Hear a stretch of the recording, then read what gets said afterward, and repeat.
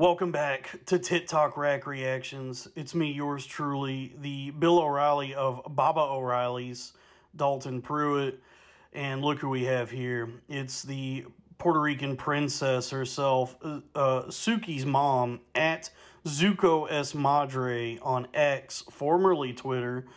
Um, and yeah, she's Puerto Rican with a, couple of meaty mofongos and these are looking natural. These look like naturals to me. Uh, a, couple of uh, bolsas con leche de natural.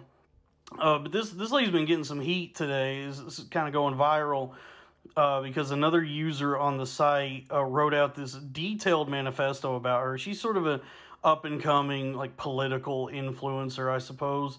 And he wrote this detailed manifesto about her opinions on Ukraine and Russia and the current conflict in the Middle East. I don't know nothing about that. Uh, what I do know, my forte is jugs. And I say from the milker to the teat, I love that booby meat. Uh, let these a uh, couple of hostages free, girl. If you you know if you know what I mean. Uh, but seriously, let's get serious. Uh, in 1948, the state of Israel was created. Uh, the who would become the Israelis uh, the settlers moved into what was then Palestine and displaced 80% of the population. Uh, this event is known as the Nakba, uh, meaning catastrophe in Arabic. And I say these knockers are also a catastrophe, what they're doing to me right now. Displacing 80% of my damn blood to my little Gaza, if you catch my drift. Uh, but let, us get a good look at these. Uh, you know, I love the presentation, letting them hang, dropped into uh, elegantly into this uh, flowy, loose lace white top.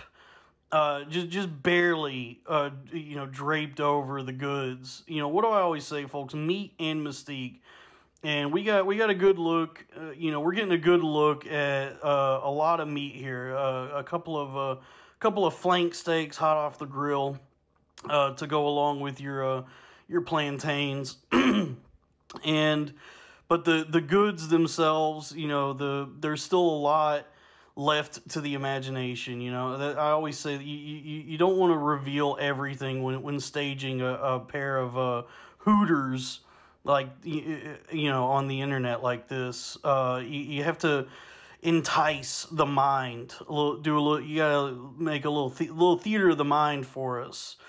Uh, keep our mouths watering uh, for for that sweet sweet uh, uh, horchata.